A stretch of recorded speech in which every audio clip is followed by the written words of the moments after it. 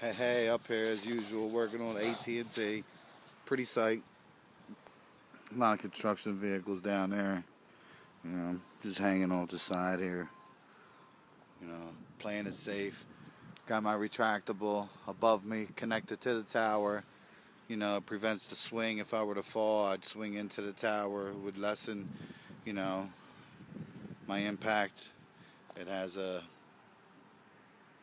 shock absorber on it as well. It's connected to my rear D-ring, you know, as well as the front. I'm positioned off with a what's called a spreader bar with a self-locking mechanism hooked up to a grillon that's running through a beaner to a standpoint which I'm going to consider as a 5,000 pound anchor point.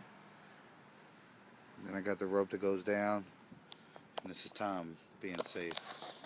Later.